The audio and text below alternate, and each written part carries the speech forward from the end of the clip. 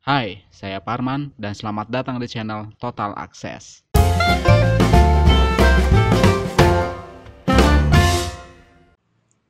Masih nyambung dari video yang sebelumnya ya sob?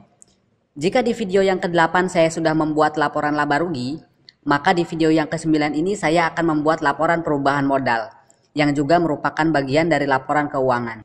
Laporan perubahan modal adalah laporan yang menggambarkan peningkatan atau penurunan kekayaan pada suatu periode tertentu.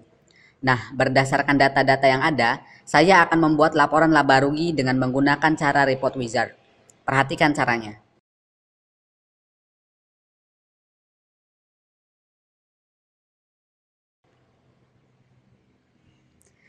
Klik query modal akhir, lalu klik tab create, kemudian pilih report wizard. Lalu akan muncul kotak report wizard.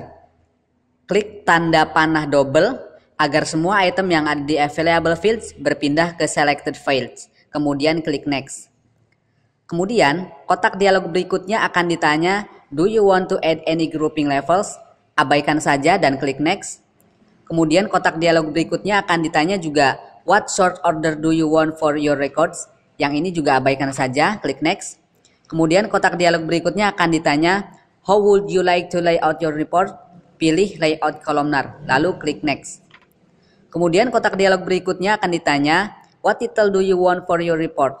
Lalu tuliskan laporan perubahan modal dan klik finish. Lalu akan muncul report laporan perubahan modal yang belum diedit.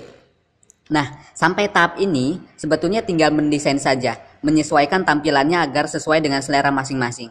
Bisa mengganti judul, merubah, tarik kiri kanan, mengganti jenis font, dan macam-macam. Caranya yaitu dengan klik kanan di layar report, kemudian pilih design view. Thank you.